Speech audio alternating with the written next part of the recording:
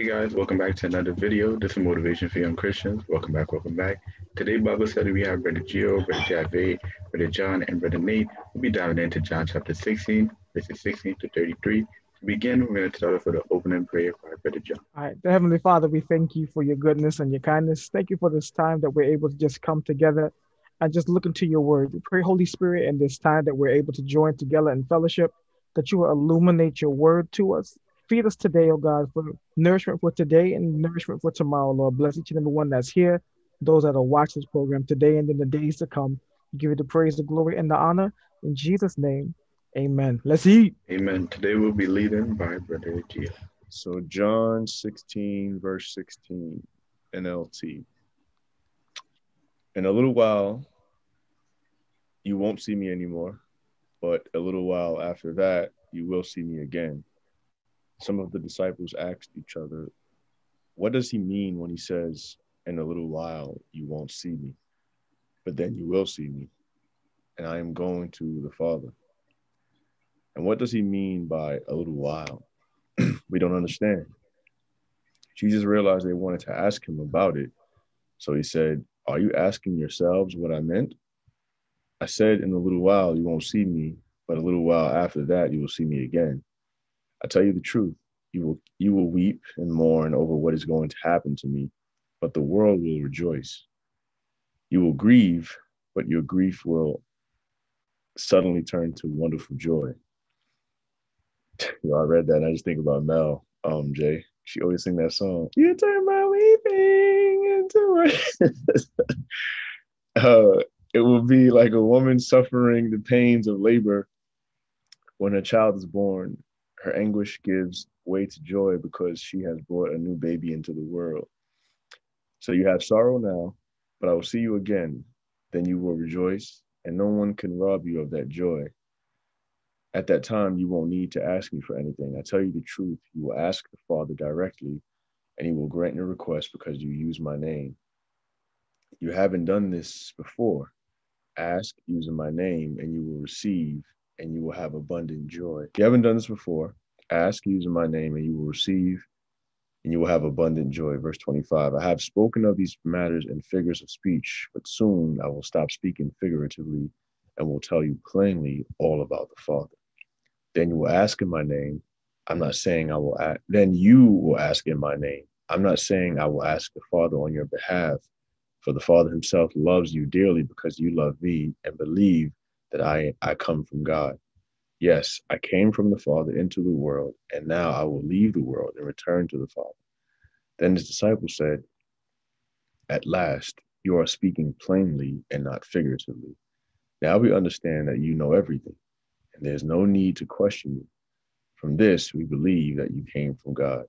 Jesus asks, Do you finally believe?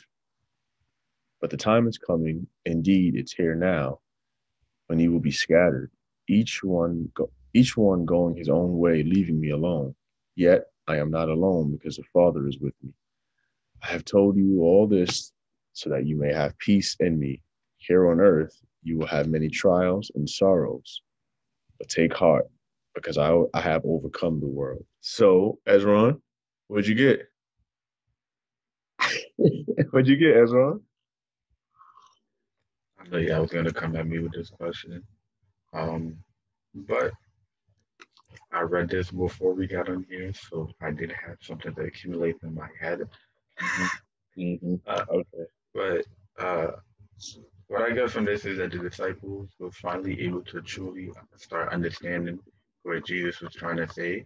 Uh, it mentions that uh, in the way that Jesus was speaking more clearly to them, for them to um, really understand and I like the comparison that Jesus mentioned with uh, the birth of a, a child. It's a painful process, just like how Jesus went on the cross to die for us. It was a painful process, but the end result was a result that everybody's happy with and you're able to rejoice. And him dying on the cross was able to uh, just wash away all our sins, nothing but the blood of Jesus, according to the song. That's cute. that was real cute. Um, but yeah, you're right. Um, it, it, that is a good analogy because I don't understand why or how women can endure such pain and yet look to have more babies. I'm not sure how that works, but Jesus hit the nail on the head when he made that analogy in terms of the amount of grief we will endure. Um, and then comparing that to the joy that we will have we will have when Jesus comes back. Um, I just I, I just want I'm just curious like the timing. Like why did he wait so long? And and and then notice like how they just they said, We now believe that you came from the Father. I wonder if I wonder if that's how Jesus looks at us, right? Like, yeah, we say we believe, we believe, we believe, but not until we like experience this crazy divine encounter that we can say, oh, you know what? Oh, I thought I believed before. I thought I was really about this life. And like, all right, now, for real, for real, now I believe. I wonder if there's just so much more that we haven't experienced with Christ to make us say, okay, now we really, really believe. You know? like how much more in store does God have for us, you know? Still trying to process your question a little bit. I, part of it to me um, sounds a little bit if I'm waiting for some grand thing to happen, something else to happen, then there resides a little bit of doubt in me. I would start there. I don't really fully believe because I haven't seen or witnessed this grand thing happen or this grand event happen to really push me over the edge. I'm waiting for some something drastic, you know, to happen to really push me from that middle point of I believe a little bit, I don't believe a little bit, to the point where I really, really believe and I'm I'm fully sold out and I'm completely in. And I think um that so that's one part of it, just, just to address that last part of your question. Um and the other part in the beginning that you were saying can't uh, par- uh repeat it verbatim. Um, but I believe part of it is is revelation and how we come to this place of really really knowing God. And I remember you were saying something in the beginning like um like I believe he is the Messiah or so, something like I can't remember very verbatim. I believe part of it is is, is revelatory as we encounter God and we go through our relationship with him and he reveals different things to us right so i may believe uh, God is, is is a provider because I've seen what He's done in your life, Gio, right? Um, but until I He re- reveals to me and then shows Himself to me to really be Jehovah Jireh, uh, up until that point of revelation, and I that at that point I really know Him. Okay, Jehovah Jireh, He He He really does this because yeah, I know it because He did it for you, but now He's done it for me. So I, I, I yeah, yeah. I, I think that's what I'm getting at. It's like we know these things of God, right? But it's like until we can really experience and experience this characteristic of God for ourselves, like I think that is when it really, really sinks in. I mean, it's, it's clear that they believe, right? It, it said that um, I think he asked them, "Who who do you say I am?" Right, and he was like, "The Son of God."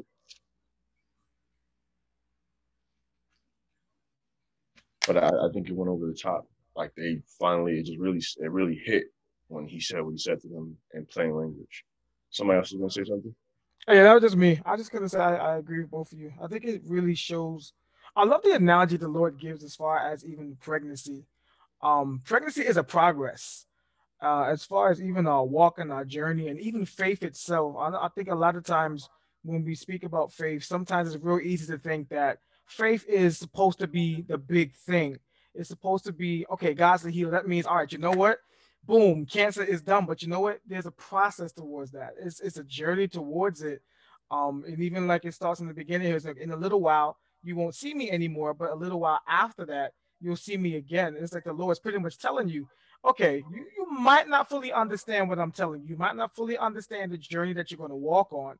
But if you walk it through at the end, you'll see and you'll have joy at it. And still going back with the analogy of pregnancy, you know, when you first get that news, you know, that you're pregnant or that your partner is pregnant, you're like, wow, okay, there's life there. But the thing is this you don't know what the baby's going to look like. You don't know how much the baby's going to weigh. You don't know what the destiny of that child is. So, really, all you're doing throughout a pregnancy is you're waiting in anticipation, believing God that He'll manifest itself, that in the end of this, at nine months later, when this child is born, there's going to have joy.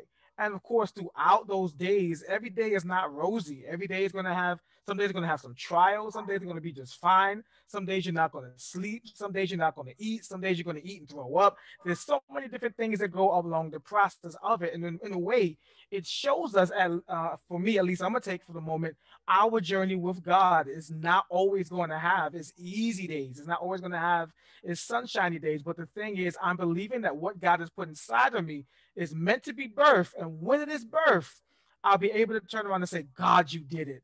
God, you did it. God, this is what you were doing. And I think sometimes it's, I, I see it partially as doubt, and I just see it partially too as we just don't know. And that's the beautiful thing about faith is that you get to the place that the Holy Spirit speaks to your heart in the place that you say, God, I don't know what you're about to do, but I'm so sure that you're going to be the one that do that does it. And so you just you wait, you wait, go through, and then at the end, boom, there it is. I think that's why if you the, if you connect the dots from the text to how to make it apply like to everyday life, I think the thing is you have to understand their journey. This is a dude that had three years to impart such a heavy mission. And these were like the intimate 12 that would begin to give language for the world later on.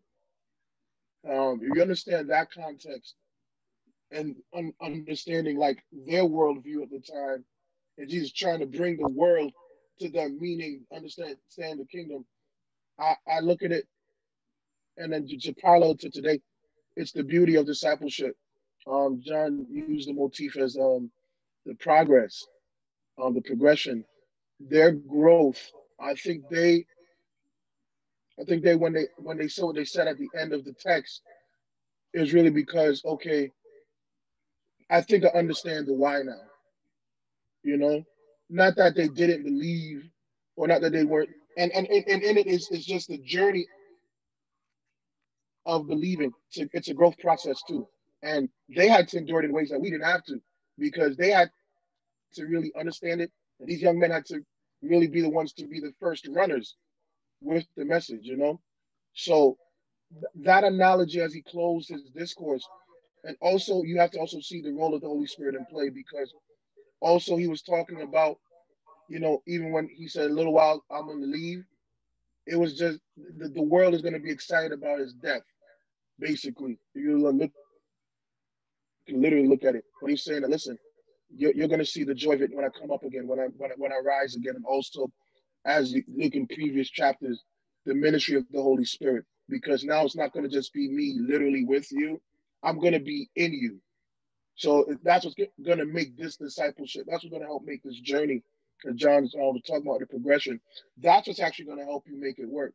That's what's going to help you understand the journey, understanding it better by and by, as the mothers and them used to sing it. That's that's who's going to help you make sense of a lot of things. So that was one of the things. Just listening into the reading again into that version, that just kind of jumps out at me. That that that progression Pay attention to that analogy. You'll understand. So that that's what stuck out to me in the in the in the initial reading. I, I like the um the part that isn't necessarily heavily preached. Um, that last verse. He says, "In the in the world you shall have tribulation, but be of good cheer. It's almost like a contradiction. Like it's like what, you mean I'm gonna be excited about tribulation, but then right after that he says, I have overcome the world. And I know a lot of the times um, we preach about, you know, how great it is to be a Christian and all the good stuff God can do. Like, like we focus a lot on the Jehovah Jireh, like how much He can provide for us and whatnot. But um, I think I was talking about this with Jay um, a little while back about what um T.D. Jakes is preaching about how we have to endure some suffering. There's going to be some trials and tribulations, and like I was a, a I would say a lot different from what they're about to endure. Like they have to go out and preach this new word amongst the people, uh, amongst a, a, group of religious, like heavy, like strict to the T, uh, believing in the Mosaic law. They have to endure something different. Um, whereas, I guess, in in the last days, we we're we're enduring something completely different. Like we have the freedom to go out and share the word, but are we doing that? You know, instead we're being, how do I say, um, I guess distracted, right, or, or or taken away from the task that we're supposed to partake in by everything else in the world or by the, the sufferings that we have to endure. And I, I just think that I think I think I asked a question last week. I was just like, we're here in the quote unquote land of the free, right? And we have the freedom of speech in our constitution. Are we are we taking advantage of that freedom of speech by going out and sharing the gospel? Like no nobody's gonna come up to us and punch us in the face or try to stone us or try to kill us because we're sharing the gospel. Like we have that freedom of speech you know, are, are we, are we, you know, are we going to allow the tribulations that we face now in comparison to what they faced back then to get in the way of the task that Jesus has given us? I ain't even going for it. That question uh, speaks to something that I guess that jumped out to me in the scripture too for today. Um, so there's a part here in verse 25 to 28. The Lord's pretty much saying that um, he's saying, I've spoken of these matters in figurative speech, but soon I'll stop speaking figuratively and will tell you plainly all about the Father. And I'll tie that into the question, which I think is actually an awesome question. I think one, we haven't taken that fully advantage of our freedom of speech, but I think part of that is we don't know how to say the gospel. We don't know how to really communicate who Jesus is or what the gospel really is in this day. I think a lot of times, as far as our active communication, we don't understand fully. Sometimes, you know, we, we hear it the way like, you know, um, the disciples might have heard it in parables. And sometimes that's how we know to communicate it. It sounds confusing to me, so I'm sound to make it sound confusing to you. Um, but if we're able to get to the place to really allow Holy Spirit to navigate us, I think He He's given us more ways to have freedom to communicate this gospel. Um, and really with that, I think we have so many more ways to communicate Christ today than they did back then, or even for our spiritual ancestors uh, 100 years ago, 150 years ago. There's so many different ways and means that we have to communicate, but we have to be able to navigate how to freely use it or even uh, allow the Holy Ghost to move within us to be bold enough to say, hey, there's a problem. I know the answer. And it's not an answer that I can question, or it's not the answer that I doubt, uh, I've seen the process in me. Let me tell you about Jesus. I'm going to tell you about this. I'm going to tell you what he said, even to the point of realizing too, part of the freedom of speech and communicating the gospel is there's flaws in us that still touch Jesus and Jesus still loves us. Even with the passage we read today uh, for today's study, it's saying, Jesus said, I'm gonna tell you plainly, um, you see me because my father sent me. My father loves me. My father loves you and I'm going back to my father. The father that loves you enough that he sent and he gave me loves us enough that now you're able to hear this message plainly without figurative speech, without parables. And now I'm able to go back. And not only am I going to go back to my father, I'm going to send someone to actually help you navigate this process. But we have to be able to let he that was sent to help us navigate that speak freely. So I, I I hear the question and think of the scripture. No, I don't think we take advantage of it freely. I think sometimes we're afraid. Um, sometimes we, we question it. Uh, sometimes we don't realize the power behind the message that we have. Um, yeah, the gospel work back in the day for our, our elders and stuff like that, but do we really believe that the power of the gospel works now? Past the prosperity, past the cars, past the house, past the husband, past the wife. Do we believe at the end of the day, this gospel says we're able to be reconciled to our creator, that our creator loves us enough that he gave his only son and all we have to do is believe in him. Not saying you got to believe and walk with a doily on your head and a vestment on and walk around with a collar, but just simply, even if you got weed on your breath and you smell like you just came out the club, but the fact that you believe that Jesus Christ is the Lord sent up from above from the Father, you can't be saved. All you got to do is call on him. I like that. I like that. Um, I, I agree with with what John said. I like to add on. Like to add on because he made um very valuable point. Uh, in my in my early days of serving the Lord, I didn't know that in order to serve, you have to suffer, and that's that's a whole sermon. That's a whole sermon title right there. In order to serve, you have to suffer because everybody they have a misconception that this Christian walk is all butterflies. You got red carpet, Jesus coming down, touching you, the angel appearing to you. But it, it, how old are you, bro? I'm, I'm 17. 17. I'll, I'll be 18. Game for like six months, and now, now you know you gotta suffer. You you gotta get in the trenches and, and, and travail. I'm like he was in glory for a second with that one. I'm like, oh, okay. yeah, man. Yeah, because I, I'm messing with you. I'm gonna say he might have been saved here. I said I was gonna say maybe he got saved from young, or you just you just heard enough. You know, yeah, exactly. Now you're embracing it for yourself. You might have heard it before, but it's not. Yeah, I just I, you're, you're new to it now. Now you're embracing it as the reality. Yeah, yes, I am. I'm I'm fairly new to it now because um, I'm like I mentioned earlier, I had a misconception that in order to serve, that you didn't have to suffer. But uh, over the last three years, that that message I've applied to my life a lot. Uh, we're going through a lot of different situations, and I just want to put that word out to everybody. In order to serve, you have to suffer. This road is not going to be smooth. It's going to be a whole lot of bumps, trials and tribulation, but it's going to be worth it in the end. It's it's no different from your regular life. You'll go through trials and tribulation, but you have to move forward in order to accomplish the um, main mission. And the main mission is to get to heaven.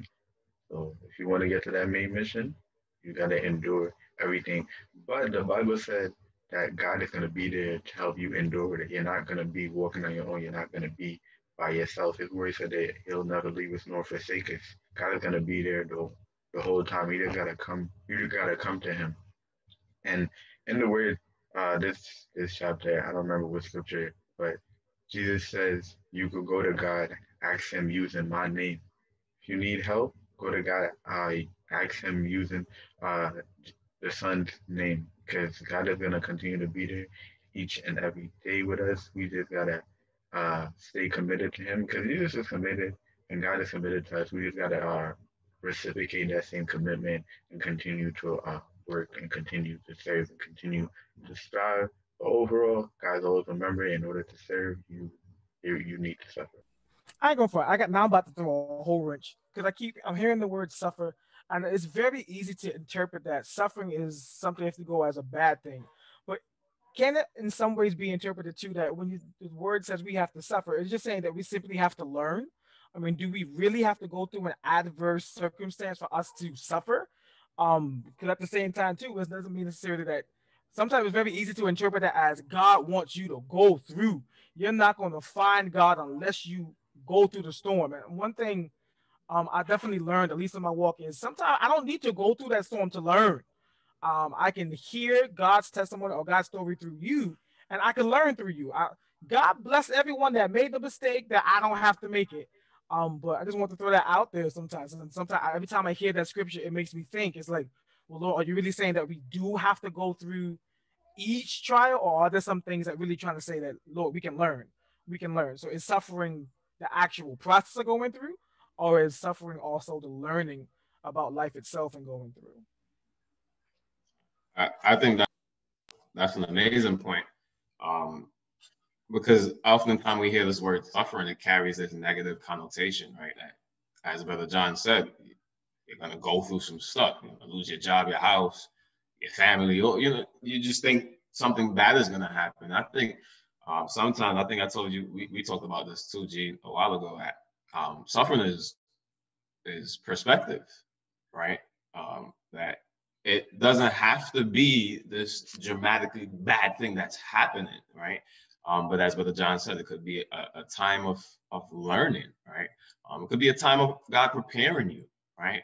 Um, but you have to allow, and this is where your, your trust in the Holy Spirit and your relationship with God comes in.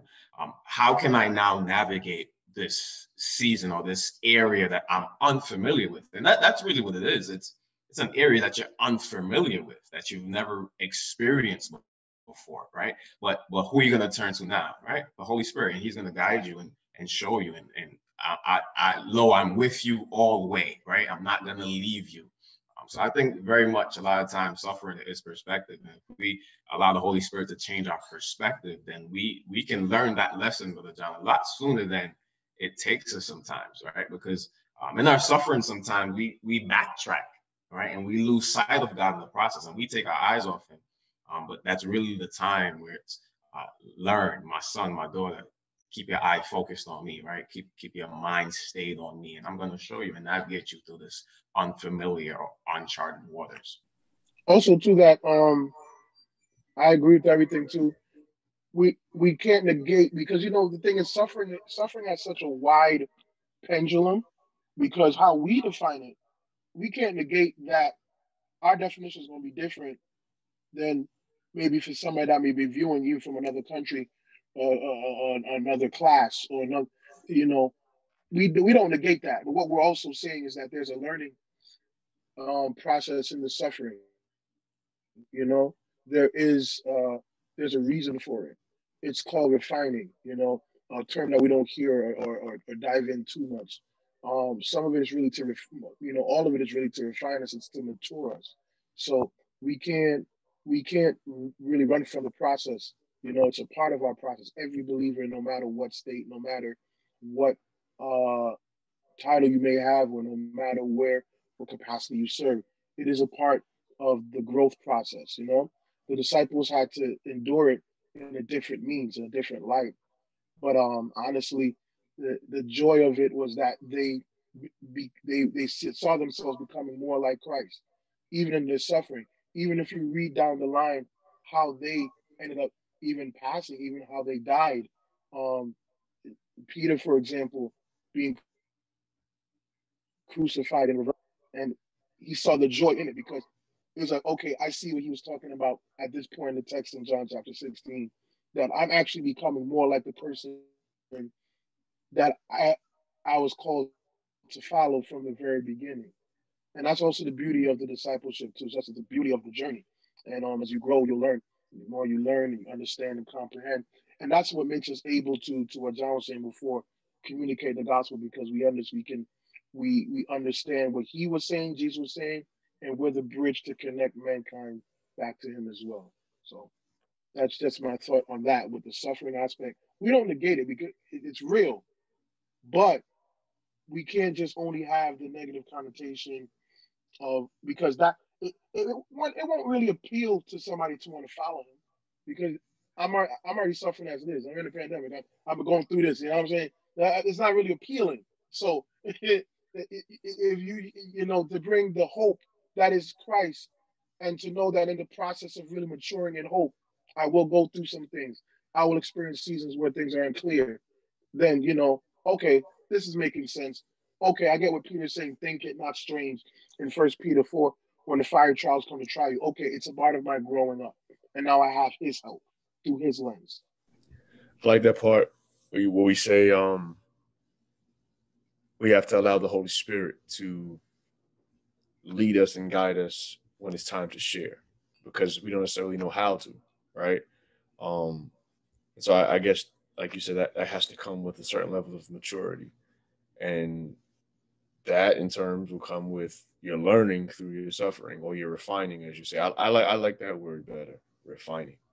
It, it, has a more positive connotation with it. It sounds better. Um, but then, in terms of um, having the Holy Spirit lead you and guide you to share the gospel, I look back at what he says to um, was it in verse verse 24 it looks like. He says until now you have asked nothing in my name. It says ask and you will receive that your joy may be full. I just think like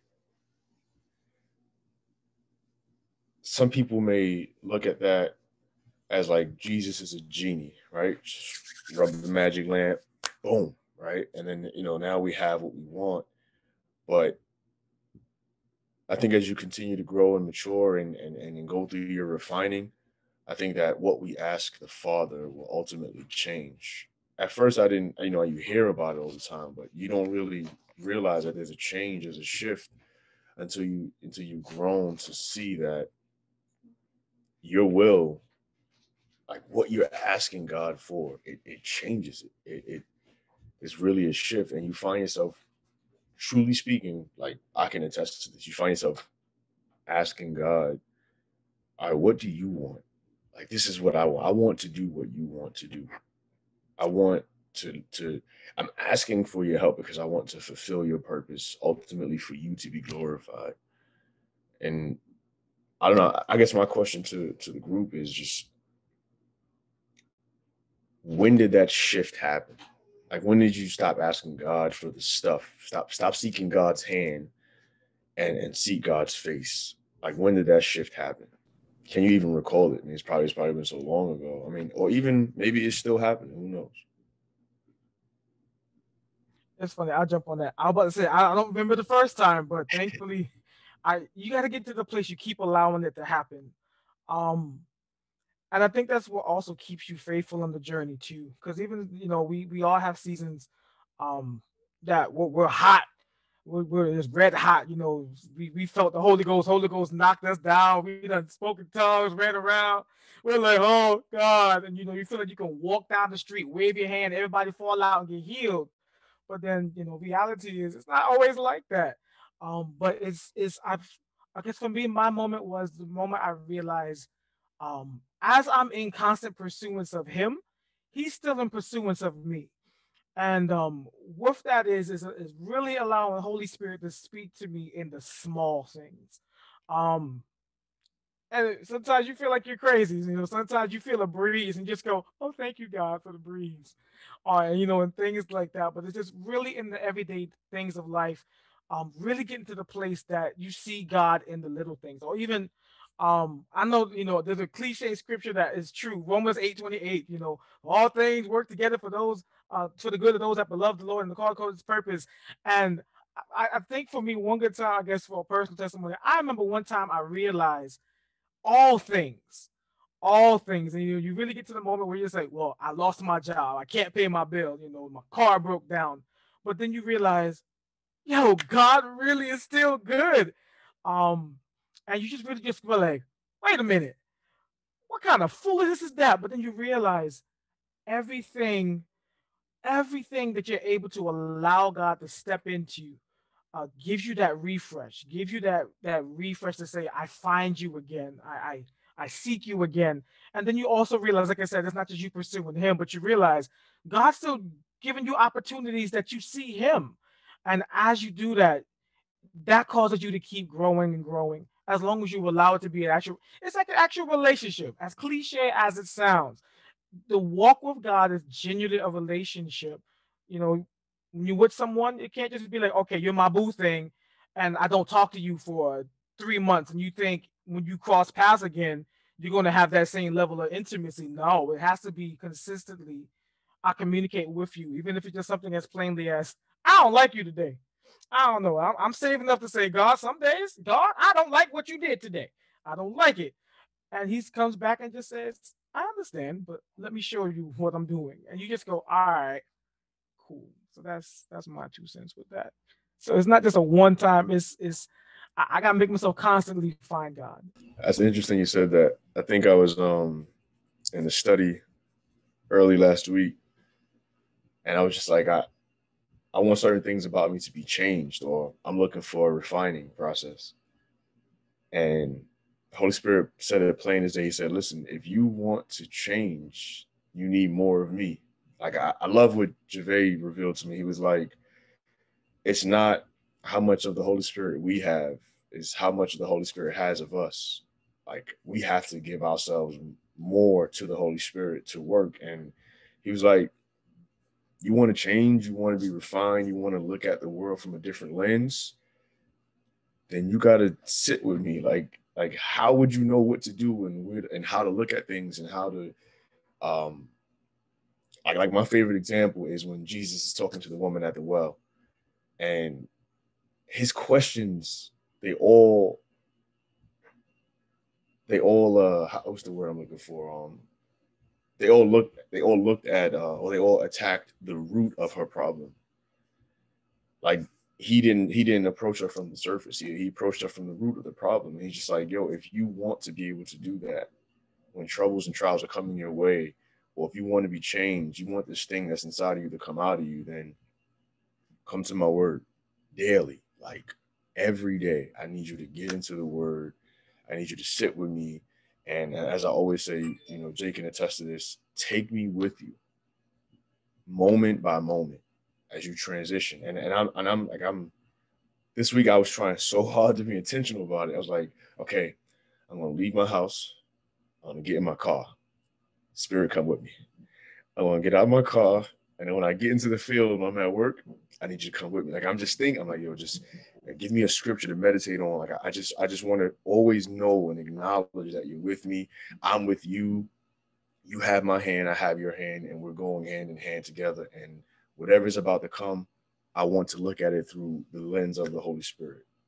And and I and I, I like that you said that. Like it's not just like a a little spring fling, a little summertime boo you know, you see it only on, you know, every now and again. It's it's it's a consistent relationship. Like if you want intimacy, then you have to get into it in order for you to see, right? And that's that's just my take. Um, for me, with the encounter factor, those are some beautiful analogies. Um, you your your answer to the question, if you if if, if it was in, in the form of a song, then that came to my mind was the lyrics from Jonathan McReynolds, "Make Room." That that always gives you the, um, the opportunity to really encounter God, as John was saying, in the small ways, in the little ways. I'm thinking even about Elijah's journey in the time of his greatest conflict. I think his best encounter, if you were to ask him, was that time when he came out the cave and everything that happened, he thought God was in it, but he was in a still small voice. It got to him. It, it dealt with the issue with Elijah um, that was facing when he felt alone and felt like he was the only one that was making a difference. And it's such is the same with us, you know, when we face the trials or face tribulations, there are going to be times when it, it might be done big, might be done small, but the beauty of the journey, and as Jesus, and, and I think I, I love this discourse because it's really his last one, and, because you don't really hear him talking in this grand way anymore. And um, one of the things I love about the joy being made complete and being able to ask in his name, he was basically teaching his disciples, you have more access to me now than you did before. Before you didn't ask anything in my name. But now you're coming now into a place you're going to gain more access to me than you did before. You're going to have more access to the power of my name. Going to have more access to the nature of my name and everything that you're going to go through if you just, you know, cling fast and hold close to that name. You know, um, I know for those that may listen, you say, boy, you sound real apostolic right now. Nah, man, but there's this power in, in, in the name. And as we grow to follow him and as we grow in him, we see the access that he's given us. And it's a wonderful partnership. It's a wonderful what they say to him, a wonderful fellowship. And the more we walk with him and the more we make room for him, you know, is the more that he fellowships with us. It's like in the book of Revelation, he said, if any man hears me, hears my voice, and in Revelation chapter 3, I stand at the door and knock. If any man lets me come in after they hear the knocking, I'm, going to have fellowship with him, as the King James said, because that's God's intent. So I have fellowship with mankind, and mankind will have fellowship with him. And it's only really when we make room, those encounters, those life changing moments, whether big or small, happens along our way. I love that. Um, love it. And and Gio, the the last take, um, you have to get into me to see. That was that was pretty good. I like that. Um, uh, for me, when I start when I focused on seeking His face and not just or solely His hand, just through my journey um, years ago when I was full time school, full time work, industry, everything going on. I'm like, wow, how am I gonna do this? And I really, really just my scripture was uh, John 15, 5. Without me, you cannot do anything. And I would run with that scripture forever. And and in in those small encounters and, and me journeying through life and all these different things that were going on, uh, the Holy Spirit just being there, God just being there and strengthening me and helping me to get through. Like, you know, you're really with me on this journey. And I've learned, all right, you you're you're in control of this. You orchestrating this. And from then I, don't that wasn't the grand moment, but that's that's the one I can recall to where it's like, you know what, I'm gonna continue to seek you and focus on you and not just the things. Um, because in seeking you, the, the, things will come. Right? I'm not worried about the things, but it's focusing on you. And the Bible says in in Matthew 6, seek ye first the kingdom of God, right, and his righteousness, and all these things will be added unto you. Um, so that, that was my my focus, right? Just um, seeking God and, and everything else will work itself out. Still in the beginning, early stages of this work. So I'm working through that uh, right now. But I'm trying to remember when did like I start to like work on that. I don't remember exactly when I started to work on, on that, but I know I got a message from somebody.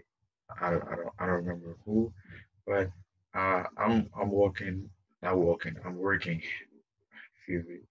I'm working on, on that right now. Just being able to see from a different lens, not focus on my stuff, but be able to draw more closer to the Heavenly Father. And with commitment and me just continue to work, I'll be able to just continue to work on that.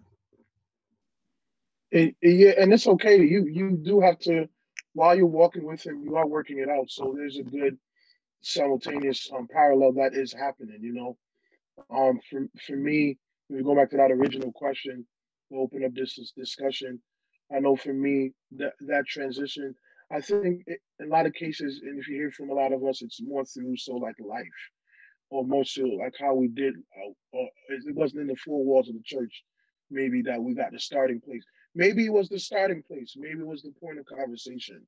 For me, uh, I knew that, that that it started there, but as I began to really grow in life and and and go through um, some things, and also seeing God's hand in my life and, and understanding the why, that really helped me. I think it's a great scripture to go with in John 15 to understand that, or it's in Him for mine, it was what Paul said in, in, um, in Acts and in Romans, rather. It's in me you live and move and have your being. And really learning and growing in that um, reality. And I think as you just look at it from what was happening in John 16, as he's closing out um, this last great speech or impartation to his disciples, you know, he said, I'm telling you all this so that your joy we may complete. He was literally telling them that, yo, on your journey, you're gonna some of y'all gonna betray me. Some of y'all gonna scatter. Some of y'all, y'all gonna these are things that are gonna have to happen. But in order for your joy to be made complete, that's gonna be a part of the process. The, the not just the beauty of the walk, but even the ugliness, the ugly moments of the walk. And a lot of times we don't really uh, pour out or share sometimes the ugliness of walk because it is understandable.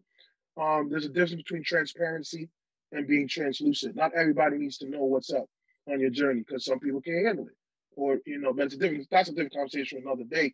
But but but, but there is a there is a there is a beauty in the walk, and um sometimes it's not just we, we highlight that, but sometimes we should highlight the, the ugly points because that's the point. Because you know, Peter denying Jesus wasn't pretty, but this man Peter, after the, he let the Holy Ghost have have his way, as we say in Acts chapter two, preach one of the greatest sermons of all time. That three thousand got saved in one shot. But his journey, you saw the ugliness of it when he said, "I don't even know who this man is."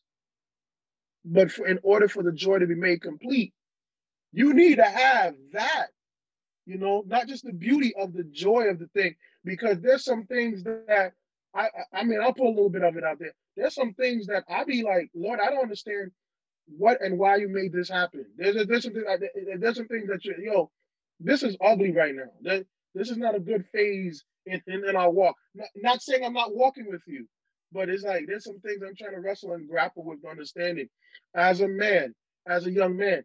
You know, uh, first sign for all the young Christians I'll be listening, there's the, not just the beauty of the walk, but finding God in the ugliness of the walk and the mistakes that has to happen. That's where the joy is complete because, like, oh, it's like what Donnie said in, in one of his last um good um hits. There is, there is God. That's where He is, not just in the beauty of your journey, but in those ugly places, in the places where you do mess up, in the places where you are broken. And as He mends you as His vessel, he mends you with gold and refines you. That's why I just love that terminology, love that thing because it, it, it's not always pretty. Uh, even the encounters, when we encounter God, sometimes not always pretty because sometimes He rebuking us. He dealing with stuff about us that's stubborn and that we don't want to let go of. You know, and it's the beauty of the journey, and that's where our joy is complete. Not just in those good encounters, but those times when He has to talk to us, and some of those things where we have to wrestle with Him out. I'm done. I don't want to. Nah, keep preaching, bro. yeah, keep preaching, man. Yo, so all right. I'm gonna, so I'm gonna be transparent. He talk about translucent. I'm gonna be transparent. So I'm saying to myself, like as as we're talking, I'm like, I want to reveal to you guys like what God revealed to me, and I'm just like, nah, I'm good. We just gonna keep it light. I ain't gonna say nothing. And then he goes and he says this, and I'm like, and he's like, you know, I might sound apostolic, and I'm like, oh, this guy, man. So, long story short, I'm reading about how Paul is was asking at first to have this thorn removed from his side. And he's like, nah, I'm not even praying that way anymore. I'm just like, pray my strength that I can continue in this walk. I'm not praying to be taken out of this prison. I'm not praying for this thorn to be taken out of my side because in this ugliness, there's still joy for me to find in Christ. And then, and Holy Spirit spoke to me the same thing. I'm like, this thing that I want to get out of me, I have to go through this refining process. And I'm like, I'm like, you know what? Don't remove the sickness that's inside of me until I have grasped what you want me to get. Like I want to be able to think like how Paul was thinking. And the only way I can do that is if I continue to journey with you. Then and only then I want you to make me whole. Because I don't want I don't want what you have for me to happen prematurely and then I go back. And, I, and it's just like, you know, when he hit me with that, I was just like, I finally see. Like, Paul could have easily been sending letters to Corinthians, Romans, and, and, and all the different churches. And, hey, yo, just just pray down the walls of God, just pray on the kingdom of heaven and ask God to get me out of here. Please pray for my no. Pray that God continues to give me the strength to send you these letters, to encourage you, to, to, to share the word of God. That's just a whole different mindset. And that comes from that that constant refining, that constant level of maturity I never even looked at what the way you said with Peter. Like he went from whose man's is this? I don't know this Jesus dude you talking about to preaching and saving 3,000. I'm in church right before service start with the opening prayer asking God to just save one. and, and this dude is saving 3,000 going from, I don't even know who Jesus is. Like, so that's, that's my testimony, right? There's something inside of me, right? And that sickness inside my body. And I'm just like, don't take it away because that sickness is there from the thing that I want to get out of me. The reason why the sickness is there. And I'm just like, you know what? the thing that I want to come out of me and do away with, this trait that I have, don't take it away until I've, I've been made whole. So continue to have your way, continue to refine me. I'm going to enjoy the ugly right now because it's a part of the process, as we just heard, so that I can be made whole. And ultimately, I'll have that great joy that Jesus speaks of. So I appreciate you, brother. That was just confirmation. Thank you. I don't. mind, I hope you don't mind me jumping in again. That's that's the that's the process of healing, and it's an amazing thing. And you know, not to veer off, but that's really what he was talking about in the verses in the twenties when he's talking about before you didn't have that access to my name, and um before you didn't you didn't you, you don't understand it. You didn't understand the gravity of having access to me because there's a lot of us that grow up in church. And the sad paradigm is, is that a lot of people grow up in church but not understand the full access they had to his name and to his person and to his nature. But the beauty of what happened here in John 16 is that Jesus let them know you have access to me and you've grown in access to me, not just because you've walked with me every, every day of the last three and a half years of your life, but this is the promise that God the Father gave to me to give to you. And if you read it in the previous verses, you understand the one is in the person of the Holy Spirit. But also, as he's closing, it's, a, it's the relationship you have with me. And who I'm going to bring to you is going to help you to remember. You remember that time when he fed this, the, this, the 5,000 men and plus because the, the creative miracle he did there. Do you remember when he he went out in Gethsemane and he prayed and, and prayed until his sweat became like blood? Do you remember his his posture when the men came to arrest him by night and they did it sneakily? And he just said, "Yo, these are things that gonna happen for us." Do you you know? And even what Gio, what you're sharing, do you remember? And it, it, it's for you to say, okay, do you remember the time where you thought you wouldn't have been well, but because you remember you had access to His name, and you remember that His grace is sufficient for the journey, and that's where the the that's where yo I, now that's now I grow in faith to say I can really receive my healing because I know one way or another because your grace if you understand that your his grace is sufficient that's now the joy being complete growing in you because a lot of times we don't let if we just a lot if we just go through the church motions and just say you know, I'll go to Friday night church, I go to Sunday morning church, whether virtual or in person. If you just live off of that, you're not going to say, you're not going to have that complete joy because life happens, challenges happen.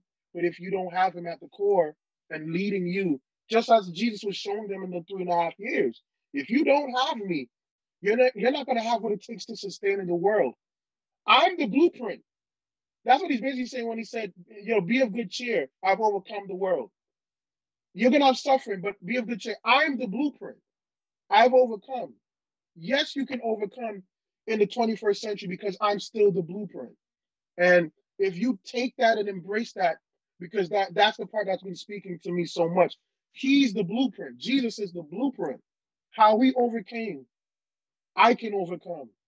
And that's what's restored grace to me and strengthened my ability to believe when it felt dark, when it felt like I didn't, I I had no, I, it, it was nice. It was a good run. But no, it, it gave me, it really, it me to know that he's still the blueprint. Doesn't matter what where we are in life, he's the blueprint. And that's the beauty of the discipleship. That's the beauty of the journey. Amen. Two weeks in a row, I was able to get two sermons. Last week, the the Holy Spirit was breaking in Brother Jave. He went on for I think a good 25 minutes. We got a good 25 minute sermon from Brother Jave last week. Now this week we got a good. I think that's at least about like an eight minute sermon. So next week it got to be you, Jill. You got to come with something. It ain't gotta be nothing. And you just out here uh sermon snatching. but that's fine, brother. I'm glad that we're inspiring you to be the great, the great you, right? And and just keep digging. Um, we're gonna keep sharpening each other, as the word says, right? Um, a lot of great takeaways. That that that nine month process, right? Like you go through it, and on the outside, on the, on the other side of it, there's just great joy. And even what you said, um, Nate, it's about the uh, it's, it's it's it's like a cliche, but when it really hits you, it hits different. there's power in the name of Jesus. Like you hear it all the time, but until it, it really sinks and it hits you, it just hits different. So, you know, a lot of great takeaways today. I, I mean, I, am done. I'm good. I'm good. What's wrong? You feeling good? Are you feeling encouraged, bro? Feeling it. I'm I'm I'm feeling it. I'm I'm I'm feeling. Uh, uh, I'm, I'm feeling it. I just. Yeah, I'm not explaining, but I'm feeling. It. I'm feeling it. Well, I, I, I love I love coming together with my brothers to be able to discuss the word and to be able to sharpen iron. And the example of the nine months is that's a really good example that I never um, really thought of, and it's a, actually a wonderful comparison. And uh, my my biggest takeaway for today is to continue to draw near to God, continue to join there, um, give up myself in order to get closer uh, to Him.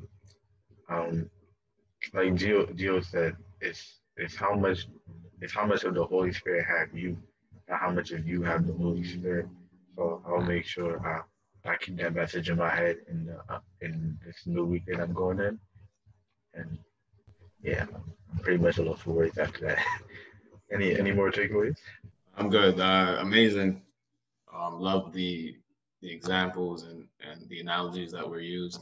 Um, I think Brother John spoke in the beginning a little bit about um, the gospel, right, and, and really understanding the meaning of it, and then us taking advantage of the opportunity that we have to share it, right? Um, and I was speaking to Melissa about this. I was telling her, like, it doesn't have to be that deep sometimes. You don't have to get up there and preach. Like, it, it could just be a conversation that you have with somebody. And it doesn't have to be a conversation. Uh, do you go to church? Do, you believe? Do you serve? Oh, you, it could be listening, right? A lot of times Jesus sat and he listened and he, he communed with the people, right? He sat and he, he availed himself to them, right? A lot of times that's how we can sow that seed. We sit there and we, we listen, right? And then obviously we, we allow the Holy Spirit to use us and ask him what to say and what to do.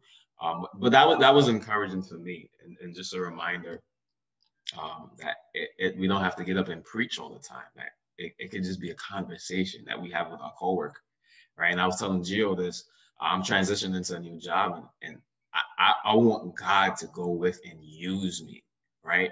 Um, as, as I get in this job, because sometimes I get timid, um, even as a minister, you know, sharing, right? what do I say? How, how do I put it, right? I don't overcomplicate it. I don't, you know, and so because of that, I, I don't say nothing. I, I, just, I listen. I just, okay. And I walk away and I leave the situation alone. But I really want to be intentional about that, right? Um, listening and, and God, where can I have input in this conversation, right? That would allow these people to see you in the midst of what they're going through, right? And again, it, it doesn't have to be a full blown, it doesn't have to be a sermon, but um, just listening and availing myself. And, and like Nate said, Jesus is the blueprint, right? So um, just following his ways, how he had dialogue with people, right? How he met them where they were, right? He didn't overcomplicate um, what he was trying to say to them, right? He used parables, he made it relatable. Um, so that was encouraging for me my biggest takeaway. I really enjoyed the dialogue for real. That when you talking about Jesus being the blueprint, that was the big the deal for me in reading and coming in to today, and um that to, to just share that reality. Um, to me, like as you just spoke just now, Jave, you know, King to me also is the book of Acts. We preach a lot of the great things that happen in the book of Acts, and if you really actually just simply dissect it, even Philip with the eunuch, the, the, the, the, the African eunuch, was a conversation. we could preach out, you know, it was a simple conversation. Um, yeah, Peter did preach in Acts 2, but everything else happened Acts was just it was through either through conversation, through preaching, through demonstrating. And Jesus was lifting them to understand that it's look at my life. Look at I did it through communication. Through I had to preach. Yeah, Jesus did preach. Jesus did some radical stuff too, but he also said, "Listen, demonstrate it," and that's what he's bringing us to the place to doing. So you know, um, oh boy, I only have one final thought, and I just leave with the scripture that Gio brought up just to remind uh, the last scripture for today's reading. Jesus plainly said, I've told you all this so that you may have peace in me. Here on earth, you will have many trials and sorrows, but take heart because I've overcome the world. We got peace in the overcomer. So that's that's really it all sums back going back to where you want that peace, it's in Jesus. Um, I know me and they had this joke about being. I was raised apostolic, so I'm I'm I'm, I'm Jesus name baby. So you know I, will talk about the name in a second. Um, but it's, it's all in the name. It's all in Jesus. So that's that's really at the end of the day, you want peace, it's in Jesus. You want deliverance, it's in Jesus. Everything you need is in Jesus. He's an overcomer, and because he's an overcomer and I'm in him, I can overcome as well. Jesus can feed you some food, it will be a spiritual food, not physical. Um, that just came to my head. I, I, I had to say I had to say Uh, now guys we'll be getting into the closing prayer Brother Nate. Father, thank you. Oh God, we just bless you. We just take the time to really just thank you, thank you for um, being being being the unveiler of secrets and, and, and, and showing us things about you that we didn't know before. And for that, we thank you for the relationship. We thank you for the friendship that we have with you. Thank you for saving us. Thank you for redeeming us. Thank you for calling us. Thank you for choosing us. Thank you for loving us. To those that may listen, might not know you in the pardon of their sins. Thank you that you know them and that you love them where they are, Lord Jesus. Thank you that you had you had you had them you you had them on your mind even to the day of your crucifixion when you died and you rose again. You did it just for us. And Father, for that, we just take a moment to just say thank you. And we thank you, Lord Jesus, for this time that we have together. We thank you that as uh, the scripture reminded us that, yes, in this world, we'll have trouble. We're in the middle of living in trouble. But what makes us resilient, what keeps our heart, the believer, um, in tune is that we have you, our blessed Savior, Lord Jesus. We have you as the blueprint. Father, you came, you lived, you died, you rose again, and, and you modeled the blueprint for us that, that it's not impossible to live in this world in this time frame. Lord God, I thank you that you've given us the blueprint and it's in your name. And we have access to so much things in your name. So, Father, I pray for the listeners and for us today that you strengthen us, that you'll encourage us continually, that you'll heal us, not only just physically, but in the, uh, also in, in our soul. And, and Father, just strengthen our spirit, Father God. I pray, Lord Jesus, that you'll uh, touch, heal, deliver through the playing and through the broadcasting of this, Lord Jesus. Also, thank you for each brother. Bless their families. Thank you for the increase in, in their lives. Thank you for what you're doing in their life, lives and what you're showing them and how you're revealing yourself to them in everyday life, Lord God. Continue to do it in the marriages. Continue to do it for those that have family. Continue to do it in those that are coming up in life. Continue to do it though in those that are navigating single or navigating so many different phases of life, business, career, everything. Father, do it in their life. Let them see you and let them be encouraged by something that was said today and not to be afraid of the beauty and the ugliness of the journey of following you, Lord Jesus, because we know that it's actually in all of that that our joy in you is made complete.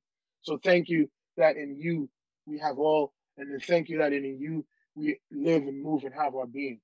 Continue to bless, continue to restore, continue, continue to refine us, continue to grow us in your grace and in the knowledge of you. In Jesus' name I pray. Amen. Wow. Brother Jave just disappeared. Okay.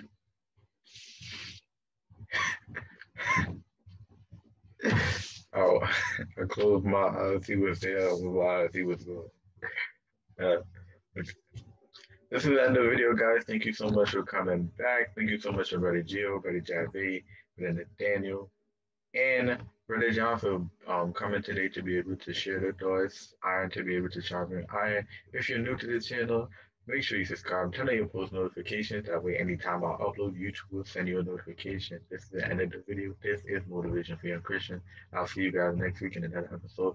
Bible study. Bye.